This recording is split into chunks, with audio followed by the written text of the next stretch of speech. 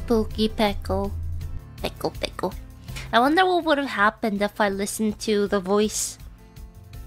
The voice of the suspicious rabbit yesterday and ran over all those people. Go, go.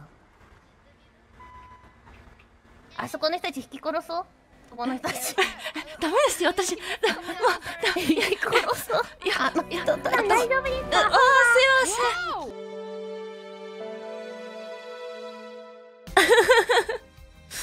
would I have gotten bombed or would it have been a great moment? I can't tell.